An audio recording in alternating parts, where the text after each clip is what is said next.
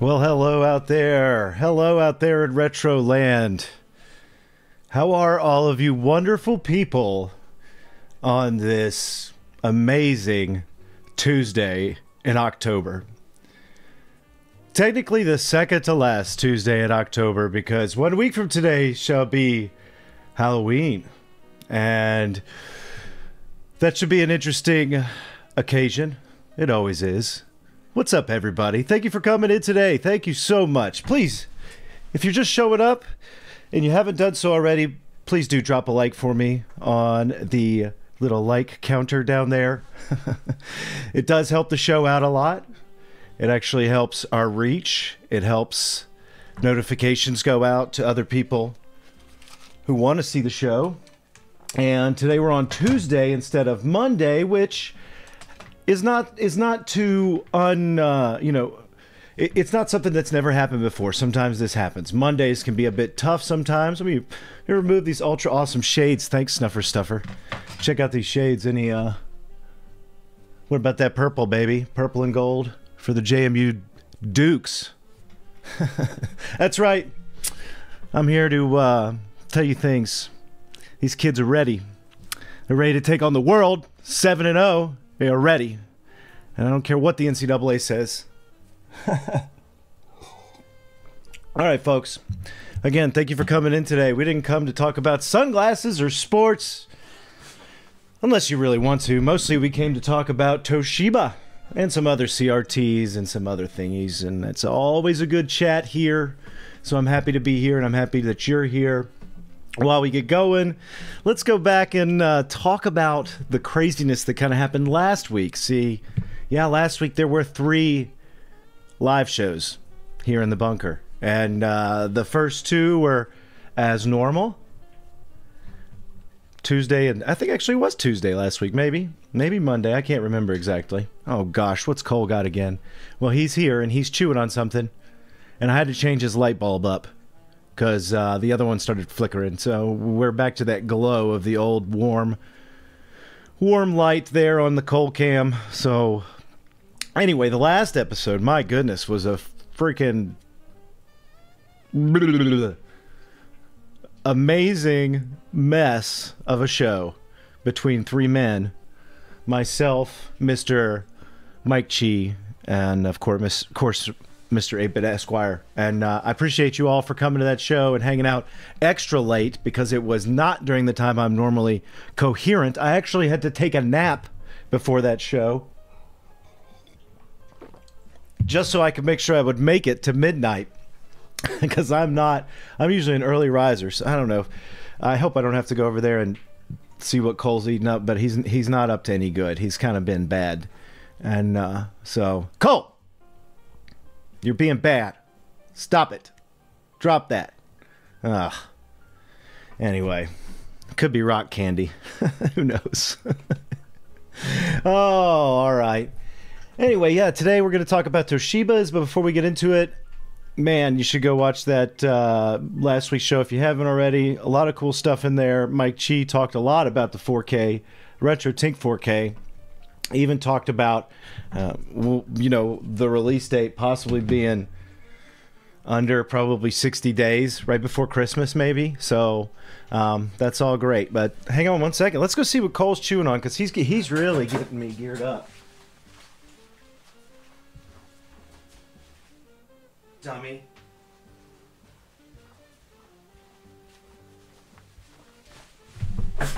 Here's the problem with letting your your dog who's got about three brain cells run around who loves to chew crap in a shop he'll just find a push pin like this and chew on it because he's just ugh, a, go- a goober. So definitely had to stop him that time.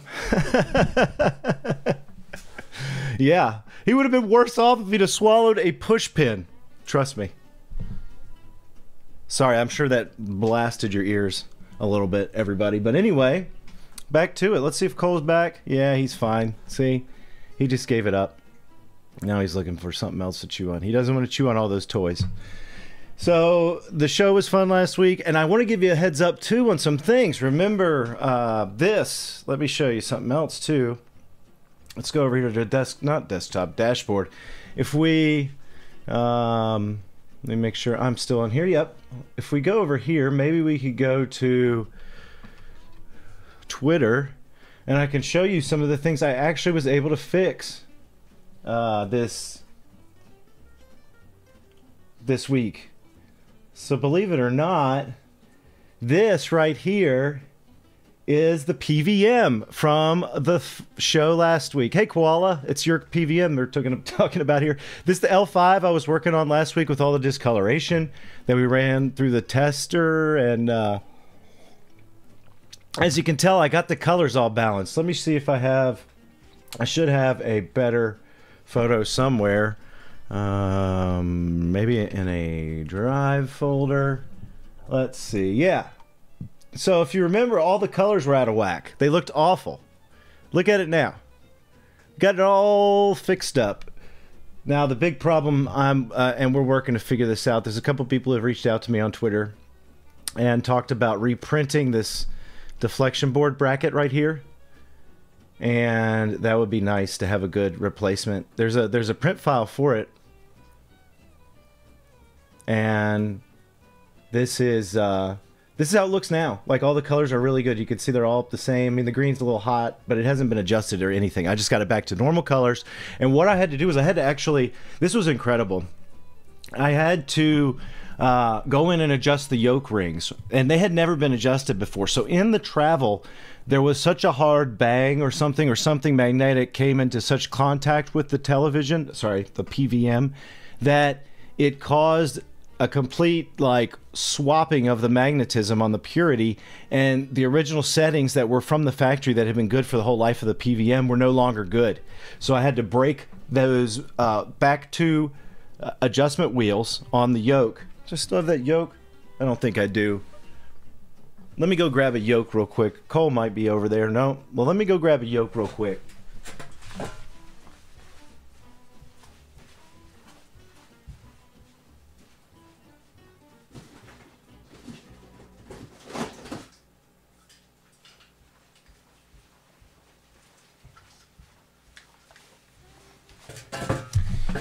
So here's what I did just to give you a little bit of a, an idea. This was, let's say this is the yoke. Well, the the two rings closest to the yoke right here, they're a set of rings, and those are your purity rings.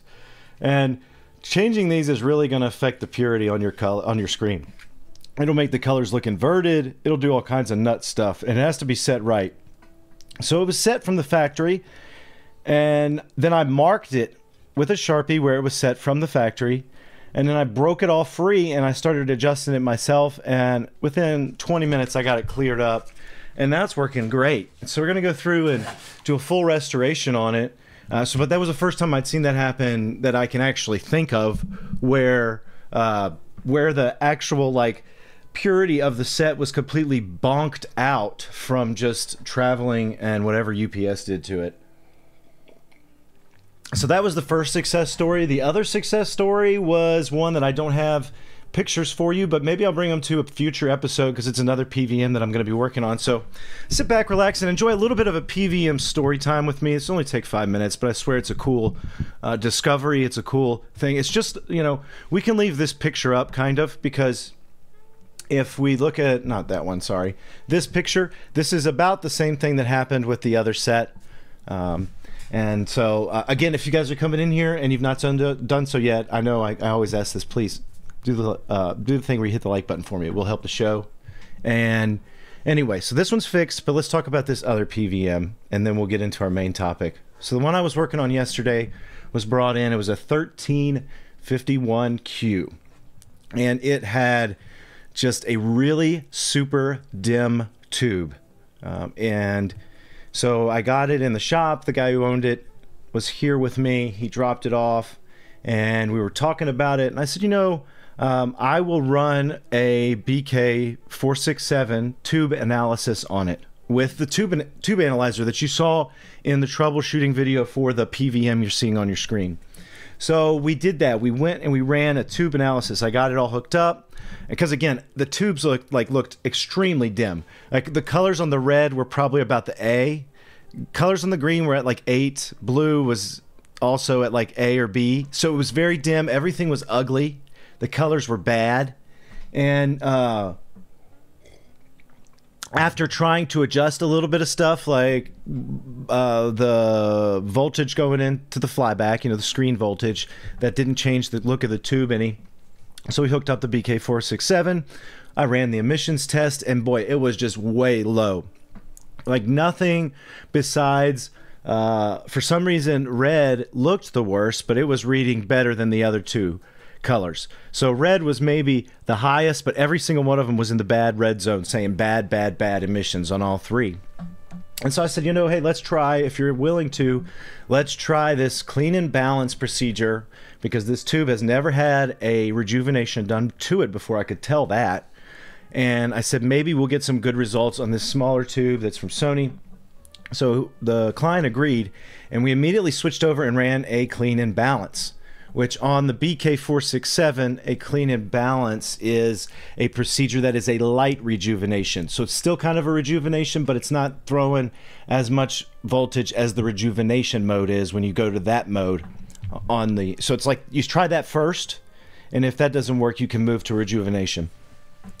So I, of course, warned him that it could short his tube out, and uh, but we decided it was just the tube was no good without trying it. So we went ahead, I cleaned and balanced all three of them, and surprisingly, there was a little bit of a jump on the blue and the red. Like it came up a little bit and then it fell back to where it was in like there's a yellow gauge on a range on the gauge.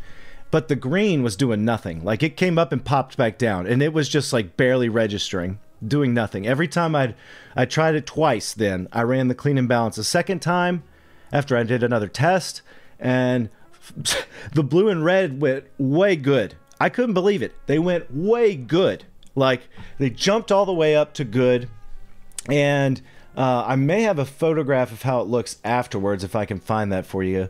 But uh, let me see if I can find anything like that. So the blue and the red jump up to good, but the green still stays down there in the dead zone. And I'm like, what the heck? So we plugged the CR. I said, let's plug the monitor back up and let's see if uh, there's a something like a uh, if there's any change on the screen when we turn it on. Okay, so we turned it on, and I mean we plugged the neck board back in hooked up a video signal, brought up the 240p test suite, and the red and blue looked awesome, but the green just looked, it looked like a little bit worse than we started. Not only that, it started to do this weird banding issue. And uh, the best way I can describe it is if I, I don't have a, I wish I would have taken pictures. This is so dumb of me not to, but I had the client here and I wanted to make sure I did everything right. So if it happens in the future, I will take pictures. But the best way I can describe it is this green started to band where it was actually like going above its normal rate spot where it was starting to cause everything to converge and blow out that had like the white looked bad blue and red looked perfect. It was just the green. It started banding. So i had i was like man this is not looking good.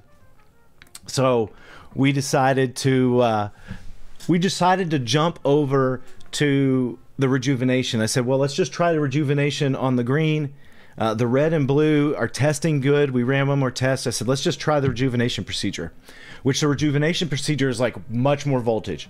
It's like the higher end of the voltage, and it will send zaps through the tube. And I've shown that before on some testing we've done on a tube episode here. And I did that, and then I ran a test, and unbelievably, all of them started testing in the good zone. And what you saw on that picture right there is that's how the screen looks now. I took a picture after it, and it's been running for like six hours. Six hours like this. And it's looking perfect. I couldn't believe it. All the emissions now test great. And um, when I bring that one down into the shop, maybe work on we'll work on it live and do another emissions check on the tube just to make sure it's still holding up. But it has been holding up strong, and it's the best and uh, most significant rejuvenation I've ever been able to pull off. Like that one has worked 100%, looks like. So I was very happy, and it's just verification that the BK467 can can actually rejuvenate a Trinitron tube. So thanks for listening to that little story. We did save that PVM. So both these PVMs you see are going to be restored. They're both in the restoration process. Uh, so that was kind of the success story from what's happened to this point this week. So thanks again, everybody. I'm going to go through and give you guys some shout outs, man. You guys have been awesome here in the chat. I mean, there's tons of people here. Mega Cards, Brian Harmon, thank you for coming in. Stupid, ugly. thank you for coming in. Zelbitas, Kawalakoa, thank you for being here. Dwight Dixon, welcome back. Finikichi, welcome in. Uh, let's see who else we have here. We have, I know I've seen some other people come in. Zero Sleep, welcome in. Thank you for coming. Mini Hakero, welcome. Aethriel Meowstick, welcome in. Snuffer Stuffer, hey there, buddy. Ronnie S, welcome back. Mick Giants Orbiting. ZEF Core, Mickey again, Buried Bits, Cozy Cathodes. There you are. Edward, welcome in. Thank you to see you, or thank you for being here. Show Dwight Dixon. Let's see. Sorry to keep doubling up. Plate Fork. I think I've just gotten about everybody. If you want to shout out, hey Ray Cerrone, good to see you. And Raymond, Raymond with the Wu Tang. Grail's Hobbies, welcome in. The reference, hey. And James Boone, welcome in. Mick, or Mickey, or Mike, welcome in too. So there it is fresh run of shout outs for everybody. Uh, thank you for being here, and um, I hope you all have helped out by hitting the like button for me. I'm sure you have. Feel free to continue chatting amongst yourself. You guys are awesome in the chat. They always, I always see people talking about almost deeper issues sometime than I get into here. So that's awesome. I'm glad you guys can help figure these things out uh, while you're in here too, because this is just a community and today, sex shit. Whoa, yeah. hey, uh, cousin Hubert, retro gaming. Welcome. Bonjour, Jackie Kraft. Thank you. All right, so let's see. Let's see what's going on here. Let's see what's going on today. Make sure that I don't have. Oh no. Ah, my daughter's sick. I just got a text saying my daughter has a fever, and my wife's going to get her. So when she gets here, we may have to shut the show off. Golly, that was unexpected. I'm sorry, everybody. Uh, but yeah, so she has a fever, so that's no good. So we'll see. Um, all right, I wasn't expecting that, but it happens. You have a kid. So that means we need to bust forward, bust forward and get into this main topic. Okay? Fred Zombie, hey. We got to bust forward and get into the main topic and get moving. Okay, so welcome in, everybody. This is the time where I'll put the uh, timestamp for the main topic. We're about 18 minutes in, and I, I appreciate all you, you know, hoping, you know, well wishes for. I, I hope so too. I hope so a lot. So Toshiba, uh, here we go. It's the one we're looking at today is the MD13P1, and it's a 13 inch CRT. It has stereo audio. Stereo audio, there's a plus and it has a DVD player built into it right here. And then a lovely bubble shaped tube. Awesome, right? Everything's great so far. We love it. It's even got some stuff like Dolby Digital and DTS uh, sound on the machine. And uh, there's so much that to love about Toshiba. And I want to talk about kind of my love hate relationship with Toshiba because there's a lot of them that I absolutely think are uh, fantastic. And then there are others that I look at and at first I think might be great. And I wonder why they might have cut some corners on some of them. Because you will find when you delve into Toshibas that not all of them are the same you're not going to get the same consistency you're getting when you buy JVC stuff usually, or of course Sony. So I'm trying to like figure out where Toshiba plays in this. They really have no presence in the professional atmosphere. And you'll often find a lot of times they're made with Orion parts, which Orion was never known as the high end television maker either. And yes, that is Cole snoring if you're wondering. so I'm I mean the thing that's great about them and like this one I really like because it's a bubble tube again, everything. But the problem is, is the best, the best input you're getting is this input right here on the front, because the only input on the back is, and I don't want to actually roll this around yet, uh, because it's sitting on top of a PVM down here, which is funny enough. So I, uh, I'm gonna turn it on here in a second, but the problem with this one is that's the only input you really get. You get a coaxial in the back for RF, but you get no. Uh, oh, uh, Philips and Magnavox made some really good ones. Tukey, Dookie. And Orion made some okay TVs too, you know? So, uh, but again, the best input we've got is this one built in. And so it's confusing. Another very bad thing about this set is you have to have, uh, I don't understand why they did this, but you have to have the man or the manual or I'm sorry, a remote control to fully use the DVD player. So there's not like a select button, okay? So you know you get into a DVD and it has a nice big menu and it says like chapters or it even just says play. If there's no select button on this, so you can't just select okay, play.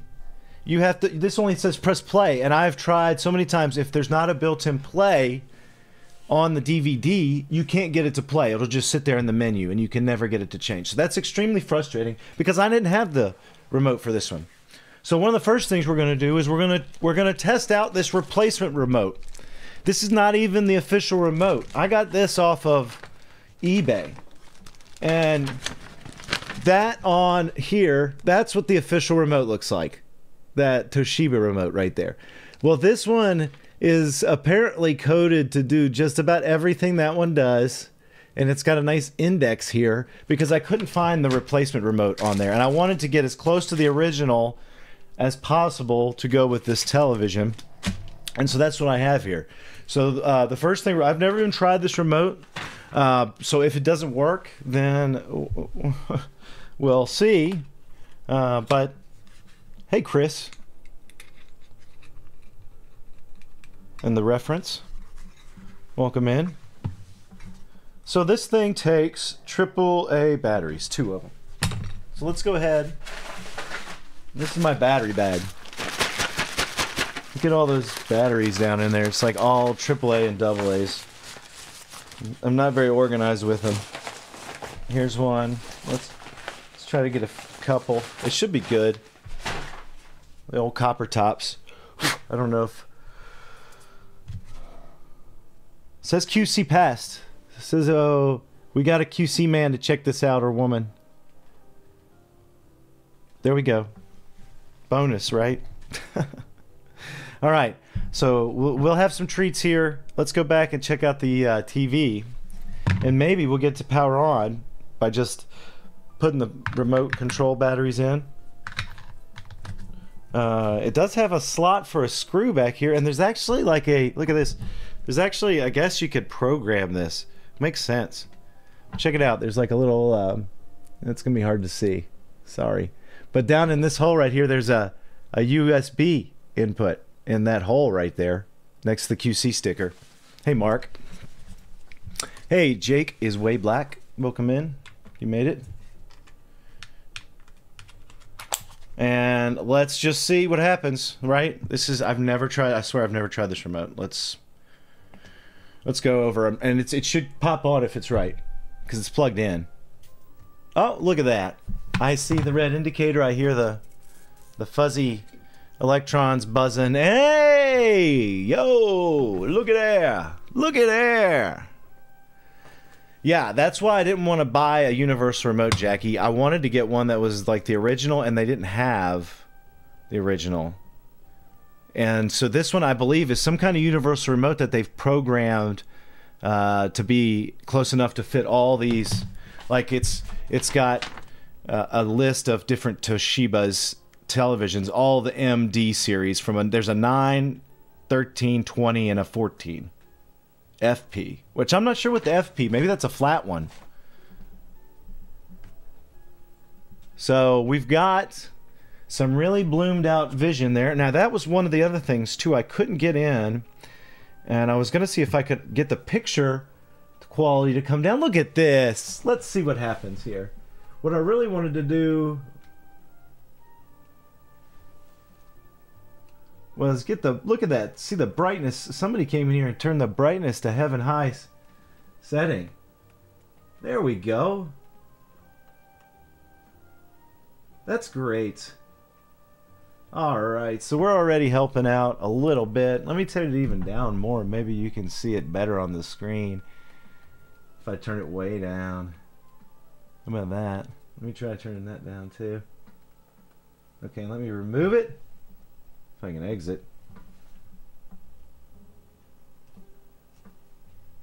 Where's exit? Exit. Hmm. Well, there's exit. Well, it's not doing anything. So, that's interesting. How do I get this out of here? It says cancel. Return. So on my remote, I need to hit return for cancel. If I find... Oh, that's return. Oh, shift. There's a shift button. No. Oh. So that's, that's just making it go back.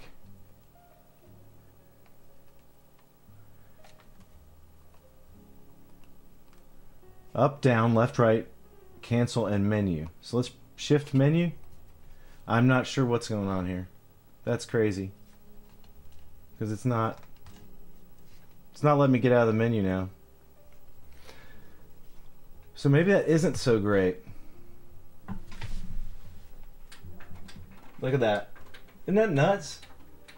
And this is the frustrating thing about the like how stupid is this television? This like, come on, don't be this dumb. I'm not. I'm not giving up yet, everybody. Don't worry. Uh, but th th this is this is ridiculous. Because I don't want to change my settings. I want to keep them. All right, hang on a second. Let me let me see what's going on here. Um, I'll be right back with you guys.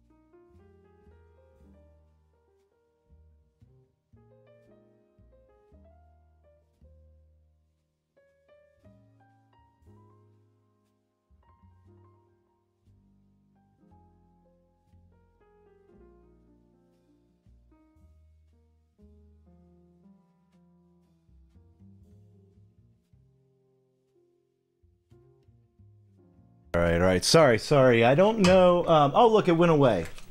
It went away on its own. I guess I just had to be patient. But let's pull it back up because I don't like that. Now it won't even come up. Let's see. Oh, maybe. Let me try to. Maybe I'm not aiming it close enough.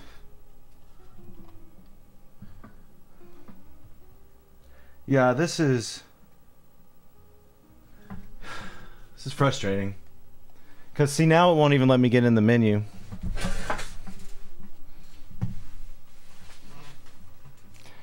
It did disappear by itself, but yeah, it's not like now. It's doing some functions, yeah.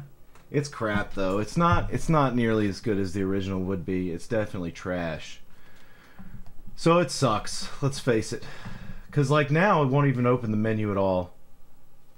Let's press shift and menu. No, nothing. So the menu like timed itself out and then uh, won't do anything now. That's interesting.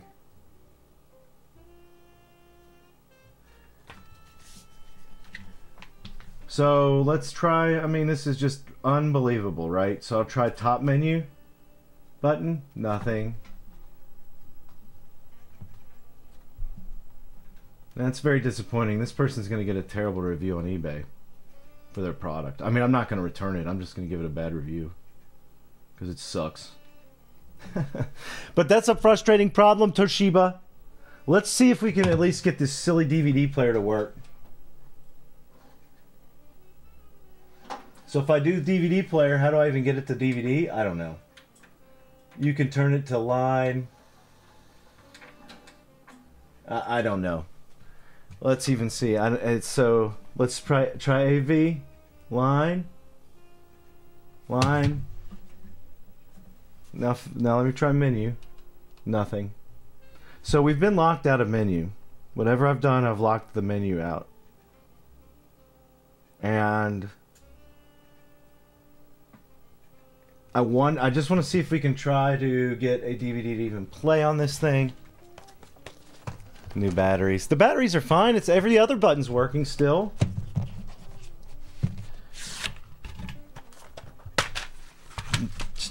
Let's put in. Let's try this. We're to try bonus disc 2 of Arnold's Greatest, The Running Man. So I have the special edition. This is on full screen. Let's see what happens. this is super lame lame. This this is like when it comes to television, it's frustrating. They give you all these features and then they lock it basically behind a paywall, right? Sounds familiar, doesn't it?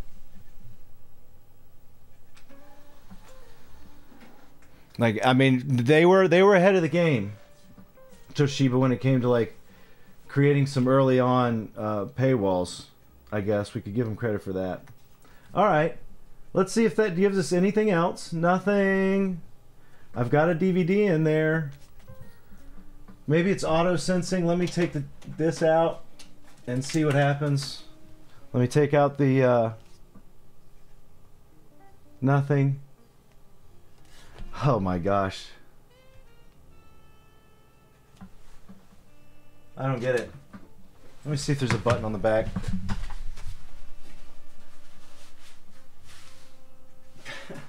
There's nothing. Nothing on the back. Nothing on the back, folks. Golly, what a turd. I don't know what's more disappointing, this television or this uh, remote. So, I, I, don't know. I don't even know how to get it into remote mode. Or menu mode. Let's see. DVD menu. So it says press of course, it says press the stupid menu button, which it's lighting up, but it's not. It's not doing anything, man. Oh. Well, this this whole stream's been pretty terrible so far. I'm sorry, everybody. Just not. I was hoping it would be a good a good opportunity today, and we're getting really skunked. But that's that's why Toshiba. I put. We need to talk about Toshiba and the bad of Toshiba because it it has very much bad qualities. Like the Magnavox I have that I'll try to bring that one next time. It's much better than this one. Let's uh yeah, this is just crap. There's a DVD in there, but I can't get it. Oh! Now the stupid thing decides to Let's see what happens.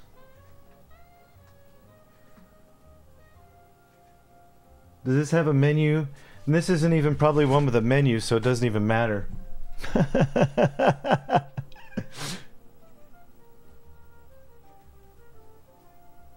I didn't want this to just jump into the movie. I was thought this disc had like extra features on it, but it might not.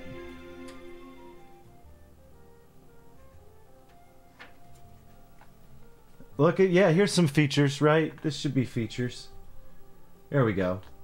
Now, this might be great. I mean, this thing. If you now see, look, this is what I'm talking about. This is what I'm talking about. This is why this TV sucks. Right now I'm on play movie. Let me turn the lights down a little bit. Maybe that'll help.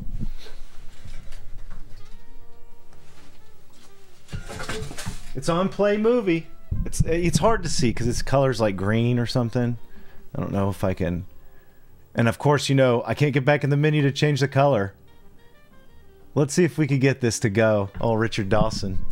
Look, see, and if I hit skip, it does nothing. Does nothing except says hand. No, you can't do that. How about play? Oh, well, this one's not fair because it actually lets me play. Well, I don't want to do that. So let's go. Because if I play, you know what's going to happen. Oh, get out of here. Oh, don't. No, I can't do that. How about this? Um, come on, you're going to kill me. You're going to get me killed here. I got a stupid, stupid TV. I got to get this thing off here before I get a copyright claim from Paramount Pictures or something. Oh, let's uh let's see here.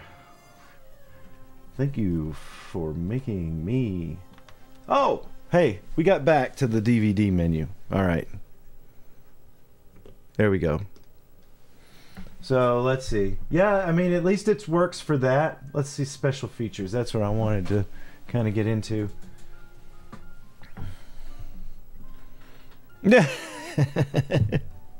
I'd buy that for a dollar.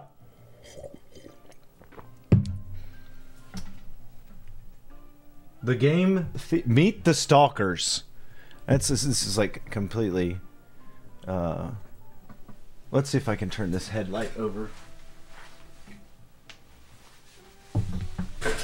Ooh, this might be a little bit more fun. If I could just get the.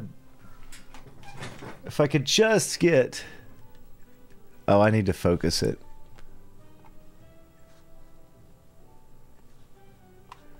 I need to focus it.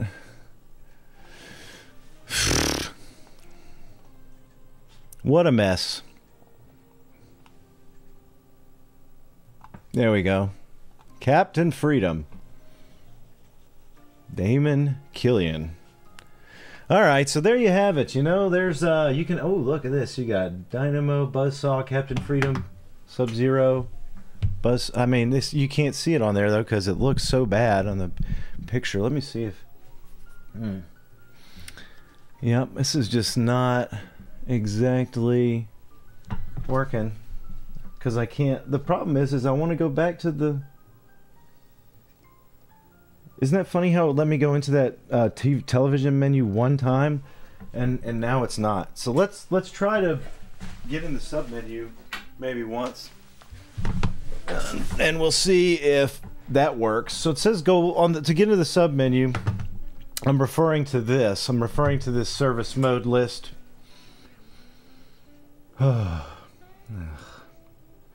and. Uh, all mode. You can get into the adjustment menu. Let's just see if this works. Volume down and 9. Volume's all the way down, so sometimes you got to do it like Let's see. It's either but on the remote or it's on the set and the remote simultaneously. Like There it is. You got to have the remote to open the TV's service menu. And I mean, this is going to be a nightmare to work through, probably. But you can, there you go. You could change everything here.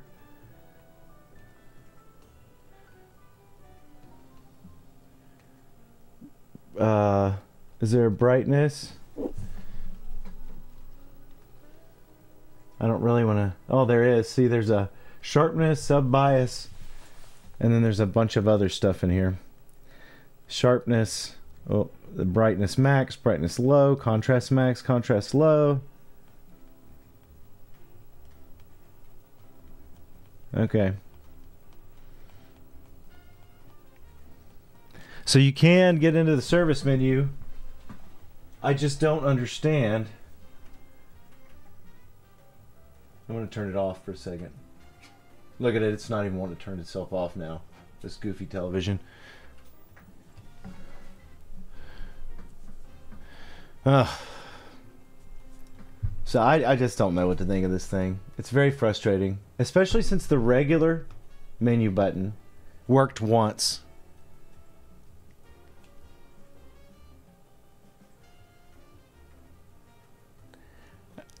I mean, I'm holding down the menu button now. It's not doing anything. That's what it is, a good old Orion Toshiba. Ugh. Very sus. PO 17. All right, guys. Well,